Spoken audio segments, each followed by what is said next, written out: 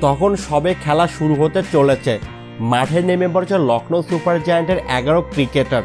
ক্রিজে দাঁড়িয়ে পড়েছেন চেন্নাই সুপার কিংসের দুই ওপেনার, আম্পায়াররাও তৈরি। হঠাৎ মাঠে নেমে পড়লেন আরও সাতজন। তাদের গায়ে সাদা জার্সি।